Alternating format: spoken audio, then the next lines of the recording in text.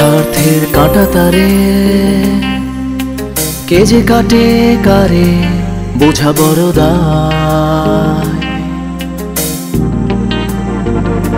কারও চোখে আলো, কারও বা ধূসর কালো বাঁচে হতাশা, বোঝা বড় বাঁচে হতাশা, বোঝা বড় দায়। অগ্নিপথ অগ্নিপথ অগ্নিপথ। অগ্নিপথ তুই যেসব কথা বলছিস আমি এসব নিয়ে একদমই ভাবছি না টেনশন করছি না কিচ্ছু করছি না। আমি জাস্ট এখন শুধু একটা কথাই ভাবছি। কি ভাবছ আপু? আমি জাস্ট ভাবছি আমরা যে কাজটা করে আসলাম সেটা তো একদিন না একদিন জানাজানি হয়ে যাবে। দেখ রাইসা, আমার কাছে একটা জিনিস মনে হচ্ছে। যা হবার তা তো হয়েই গেছে। এখন এখন মাকে সব কিছু বলে দিই। ঝামেলা একবারে মিটে যাক। আমার আর এসব ভালো লাগছে না। এক্স্যাক্টলি আপু। আমিও তাই ভাবছিলাম।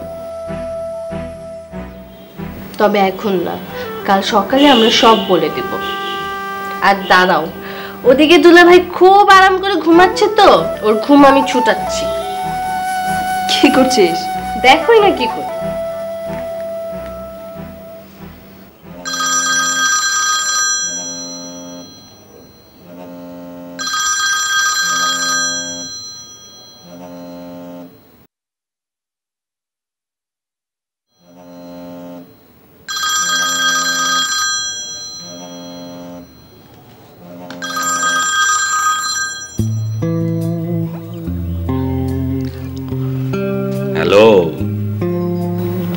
হ্যালো। এই শোনো না খুব মিস করছি তোমাকে। আমার না একদম ঘুম পাচ্ছে না। মিস তো আমিও করছি। আমার কি ইচ্ছে করছে জানো? ইচ্ছে করছে ছুটে তোমার কাছে চলে যাই। গিয়ে তোমাকে বুকে জড়িয়ে ধরি। তাহলে আর দেরি করছ কেন? তাড়াতাড়ি আসো প্লিজ এত লম্বা রাত আমার না একদম ভালো লাগছে না। প্লিজ আসো না। কাজল আই লাভ ইউ আচ্ছা শুনো না একটা কিস হবে। ও মাই গড বাপরে আপু তোমারটা তুমি সামলাও। আই কে? ও। আচ্ছা। এবার তাহলে বুঝতে পেরেছি ফোনটা করছে আমার শালি ম্যাডাম তাই তো? আরে না না এই তো এখন আমি কথা বলছি আমি। রাইসা আবারও দুষ্টুমি হচ্ছে না? তোমার আপুকে দাও দাও। আরে বাবা আমিই তো বলছি বুদ্ধ একটা। তাহলে রাইসা? আচ্ছা তুমি আমাকে সত্যি করে বলো তো আগে ফোনটা কে ধরেছিল? রাইসা না? হ্যাঁ বলেছে। রাইসা কথা বলেছে। শালি হয় না তোমার? তোমার সাথে দুষ্টুমি করেছে। ও কাজল তুমি? সাইফ তোমাকে একটা জরুরি কথা বলার জন্য ফোন করেছি। জরুরি কথা? কি হয়েছে কাজল? সাইফ তারা ফুপির ছেলে নাকি দেশে এসে গেছে। এখন আমার বিয়ে।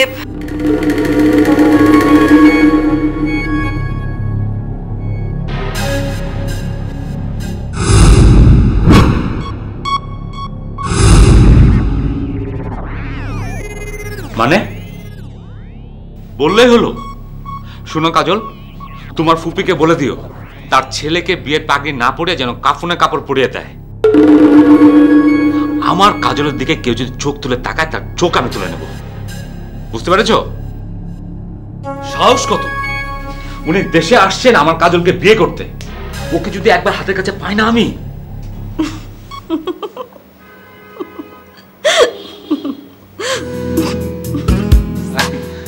কি হলো? তুমি আসছো কেন?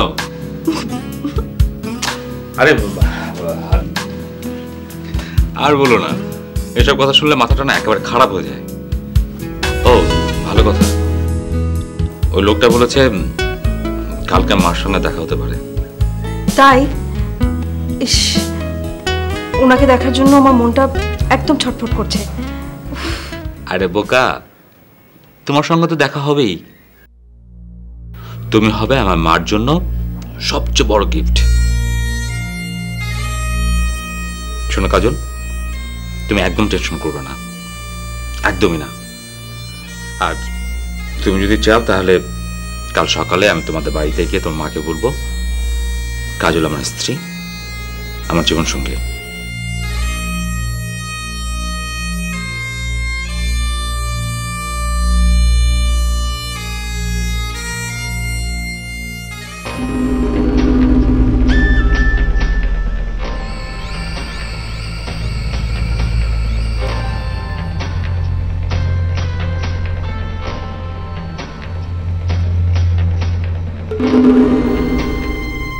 দেখছি না।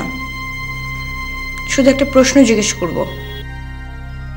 আমার ড্যাডির কাছ থেকে যে একটা ফাইল এনেছিলেন আমাদেরকে বলেননি কেন ফাইলটার কথা? হাজার কোটি টাকার সম্পত্তি। সোহা জীবনে অনেক কিছু আছে যা সবসময় বলা যায় না বলা উচিতও না। তোমার ড্যাডি কি তোমাকে বলেছেন? আমার ছেলের কাছে আমি তোমার কোন কথাটা চেপে রেখেছি? বলেছেন?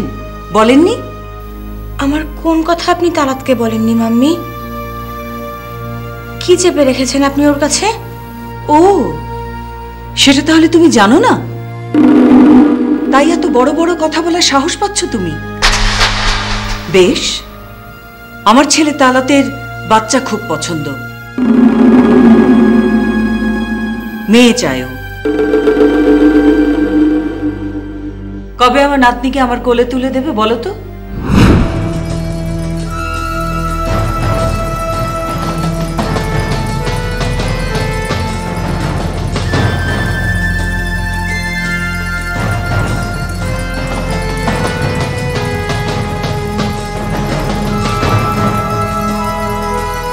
সোহা, আমি তোমাকে যা দিয়েছি, সেটা তোমার ওই বাবার দেওয়া ফাইলের চেয়ে অনেক বেশি দামি। আসল সত্যিটা হলো, আমি আমার ছেলের ওয়ারিশ এ মির্জা খানদানের ওয়ারিশকে নিজের হাতে গলা টিপে মেরে ফেলেছি। তারা যেদিন জানতে পারবে যে ও বাবা হতে পারবে না, সেদিন থেকে তুমি ওর জীবনে আর থাকবে না, থাকতে পারবে না। দরকার হলে ও সেদিনই কবিতাকে তোমার সামনে বিয়ে করে ফেলবে।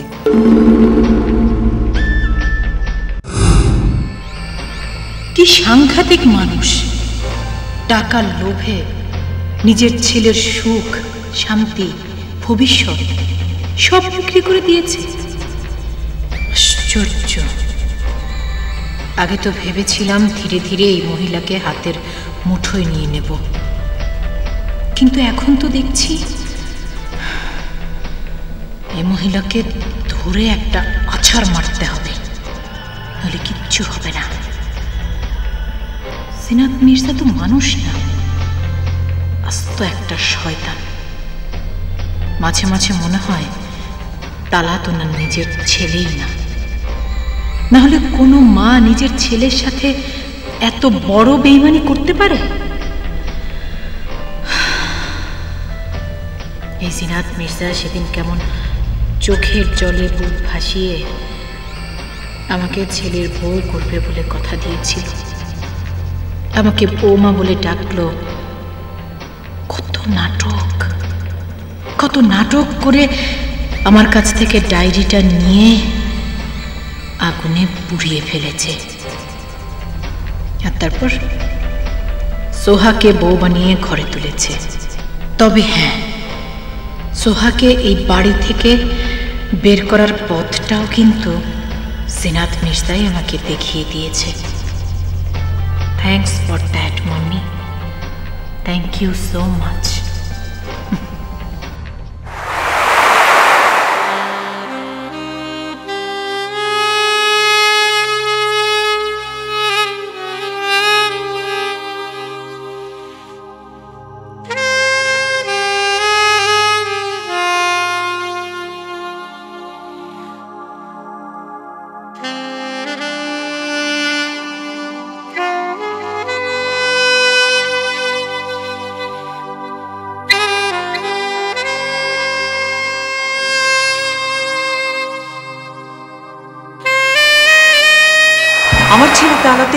বাচ্চা খুব পছন্দ। মেয়ে চায়ও কবে আমার নাতনিকে আমার কোলে তুলে দেবে বলো তো? তারা যেদিন জানতে পারবে যে ও বাবা হতে পারবে না, সেদিন থেকে তুমি ওর জীবনে আর থাকবে না, থাকতে পারবে না। দরকার হলে ও সেদিনই কবিতাকে তোমার সামনে বিয়ে করে ফেলবে।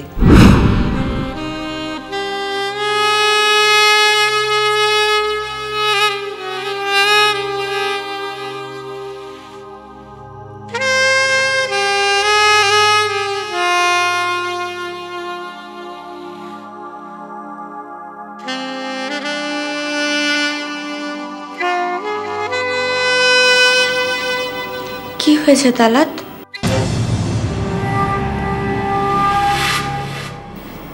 এভাবে তাকিয়ে আছো কেন? মাম্মি কিছু বলেছে তোমাকে? মাম্মি ড্যাডির প্রশ্ন এখানে অবান্তর সোহা। বিয়ের আগে আমরা দেখা করেছিলাম, কথা বলেছিলাম। একজন আরেকজনকে ভালোবেসেছিলাম।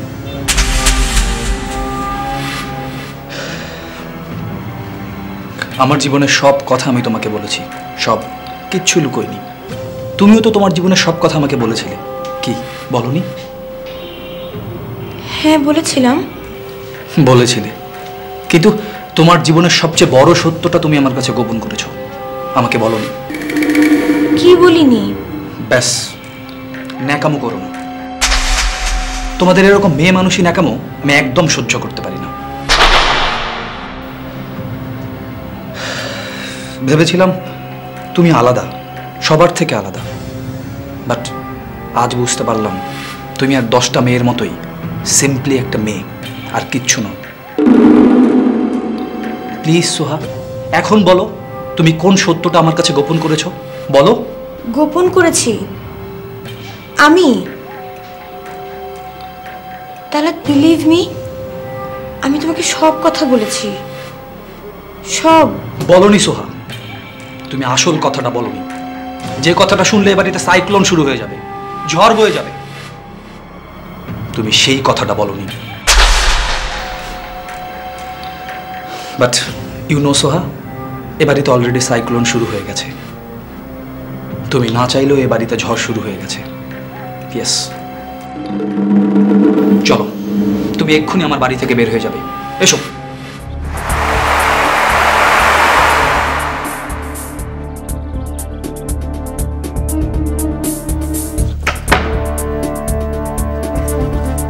Get out. আউট আমি যেন আর কোনোদিন তোমাকে আমার বাড়ি ত্রিসীমানা না দেখি। যাও।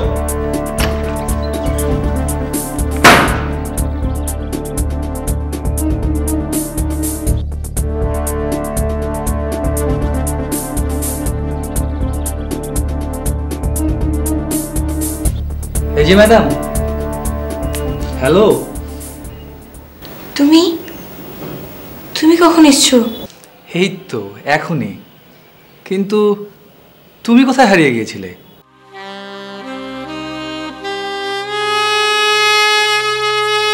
তালাত তুমি আমার পাশে না থাকলে আমার জীবনটা ফাঁকা হয়ে যায়। সব কিছু কেমন যেন শূন্য হয়ে যায়।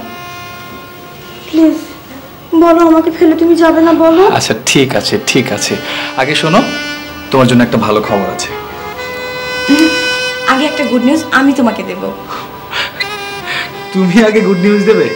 কোনো সারপ্রাইজ শুধুমাত্র তোমার জন্য।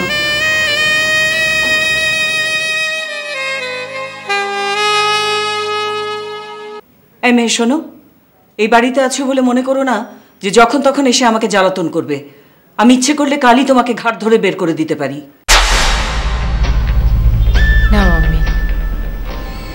সেটা আপনি পারবেন না। চাইলেও পারবেন না। কেন পারবেন না সেটা আমি আপনাকে বলছি। মানুষ তো সর্ষে দিয়ে ভূত তাড়ায়। আপনার সর্ষের মধ্যেই তো ভূত লুকিয়ে আছে। যে ভূতটা কে জানেন? আমি। মানে কি বলতে চাচ্ছ তুমি? মানে আসলে আপনার ছেলে মেয়ে দুজনেই খুব ভালো। খুব ভালো। আপনি ওদের দুজনকেই পুতুলের মতো রিমোট দিয়ে কন্ট্রোল করতে পারেন। আপনি যা বলেন, ওরা তাই শুনে।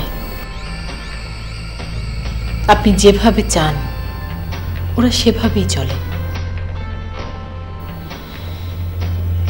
কিন্তু টাকার লোভে আপনি বড় লোকের ঘরের যে মেয়েকে বউ করে এনেছেন সেই মেয়েকে চালানোর রিমোট তো আপনার হাতে নেই মাম্মি। সেটা আমি বুঝব কবিতা। এ নিয়ে তোমাকে মাথা ঘামাতে হবে না বুঝলে? মামি আপনি খুব ভালো করে জানেন। আমি তালাতকে ভালোবাসি। সব কিছু জেনে শুনেও আপনি কীভাবে পারলেন তালাতের জীবনটা নষ্ট করতে? কবিতা! Please mummy. অযথা চিৎকার করছেন কেন? আপনি যদি এভাবে চিৎকার করতে থাকেন তাহলে যে কঠিন সত্যটাকে চাপা দিয়ে রেখেছেন সেটা তো সবার সামনে প্রকাশ পেয়ে যাবে। আমার মাঝে মাঝে কি মনে হয় জানেন? মনে হয় তালাত কি সত্যি আপনার সন্তান? আপনার নিজের পেটের ছেলে? নাকি ওকে আপনি অ্যাডপ্ট করেছেন? কবিতা মাইন্ড ইউর লিমিট ভুলে যেও না তুমি জিনাত মির্জার সামনে দাঁড়িয়ে কথা বলছো। ভুলিনি। আমার খুব ভালো করে মনে আছে আমি কার সামনে দাঁড়িয়ে কথা বলছি। কিন্তু তারপরও একটা কথা আমি না বলে পারছি না। তালাত যদি সত্যি আপনার ছেলে হয়ে থাকে, তাহলে আপনি কীভাবে পারলেন? কীভাবে, কত কোটি টাকার বিনিময়ে আপনি তালাতের জীবনটা বিক্রি করে দিয়েছেন? কেন, মাম্মি? কেন আপনি তালাতকে বলেননি? কেন বলেননি যে ওর বউ কোনো দিন মা হতে পারবে না? কেন বলেননি আপনি এভাবে তালাতের সর্বনাশ কি করে করলেন, মাম্মি? নিজের বংশের ওয়ারিশকে আপনি নিজের হাতে গলা টিপে হত্যা করেছেন। কেন? বলুন।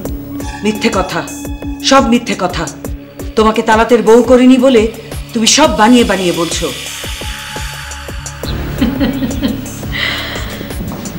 মাম্মি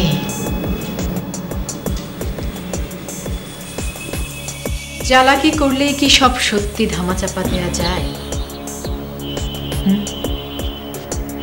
যায় না। আপনি একবার ঠান্ডা মাথায় ভেবে দেখুন তো। আমি যদি এখন এই সত্যি কথাটা গিয়ে তালাতকে বলি, তাহলে